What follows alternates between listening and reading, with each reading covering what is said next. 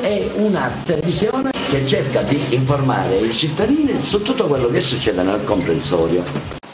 Per fare questo tipo di informazione e farlo in questa maniera ovviamente abbiamo fatto incazzare i mafiosi.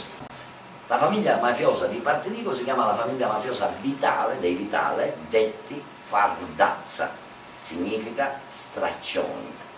Ora dire a una famiglia mafiosa straccioni si incazzano. Abbiamo subito qualcosa come 40 gomme tagliate, macchine, eh, veti sparate delle macchine, freni delle macchine tagliate, macchine bruciate, un'aggressione fisica.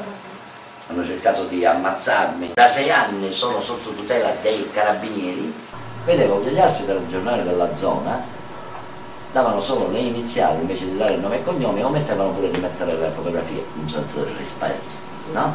Quando noi invece abbiamo incominciato a dare nome e cognome, mettere le foto, li abbiamo costretti anche all'altra informazione a venirci dietro, altrimenti le persone non li guardavano più. Quindi abbiamo anche corretto l'informazione. Siamo in chiusura un ultimo servizio che riguarda la visita dei ragazzi di Volpiano in, in provincia di Torino ieri qui nei nostri studi. Di sicuro ai miei genitori racconterò comunque la storia di questo grande uomo che comunque combatte ogni giorno la mafia e comunque mi piacerebbe molto far passare questo messaggio che lui oggi ha fatto passare a tutti noi ragazzi. Che uomo coraggioso, nega le sue paure ma forse le nasconde sotto quei baffoni e continua a lottare nonostante le minacce e le aggressioni. Mi ha fatto capire che anche una persona piccola può essere grande. Una parte della storia di Peppino Impastato si è svolta qui dentro. L'infanzia l'abbiamo vissuta nella tenuta dello zio Cesare Monsella. Era il mafioso, il capomafia di allora. Tutti mafiosi che apparentemente non ci facevano mancare nulla. Tutto finisce proprio in una giornata di primavera esattamente il 26 aprile del 1963 quando lo zio Cesare Mansella viene ucciso per l'auto e Peppino si è espresso in questo modo se questa è mafia io per tutta la vita mi batterò contro. 1, 2, 3, 4, 5, 95, 96, 97, 99, 100. Questo è il percorso dei 100 passi, siamo arrivati a casa Padovamente. È stato interessante parlare col fratello di Peppino Impastato. Abbiamo rivissuto la sua storia, che conoscevo dal film, ascoltando le parole di uno dei protagonisti di quella tragedia.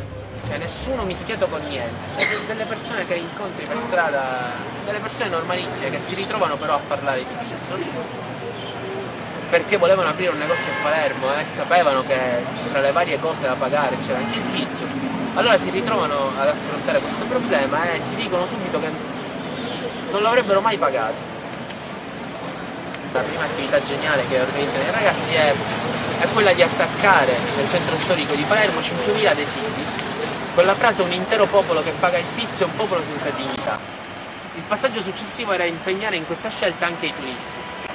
Allora nasce l'Italia Dio Pizzo Travel, i servizi che eh, diciamo, abbiamo offerto in qualche modo per il vostro viaggio sono tutti estratti dalla lista di Pizzo per cui dai trasporti all'alloggio, al, ai posti in cui andremo a mangiare, ai ristoranti, sono tutti in qualche modo estrapolati dalla lista del Dio Sostenete i commercianti che decidono di Sosteniamo, perché lo state facendo, sosteniamo, sosteniamo. lo stai facendo pure tu, in questa settimana lo stai facendo pure tu.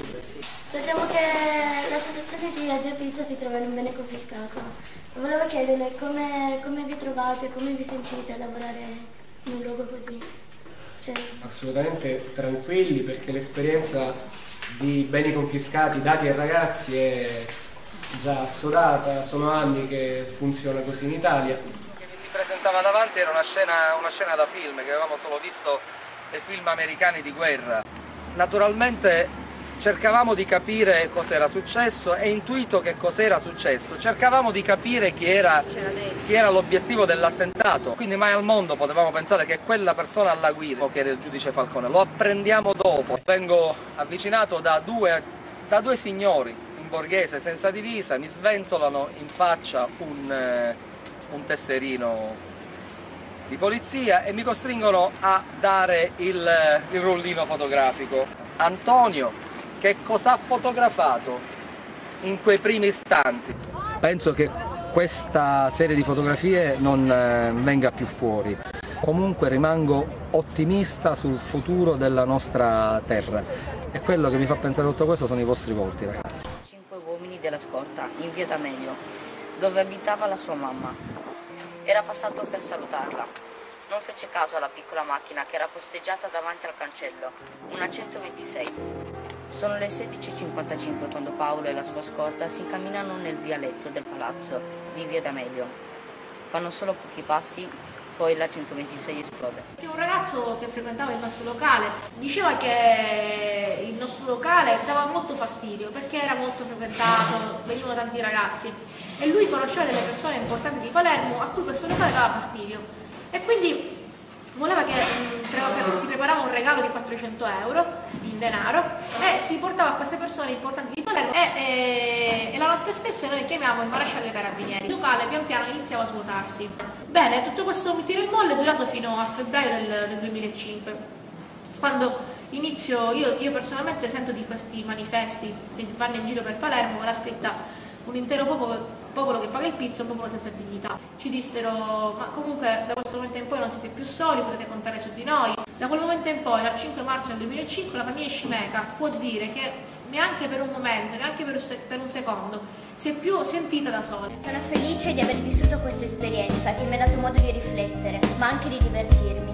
Non dimenticheremo le persone che abbiamo incontrato. Le mafie non hanno paura né dei giornalisti, né degli sbirri, né dei magistrati ma hanno paura della cultura. E sarà un esercito di insegnanti a sconfiggere le mafie.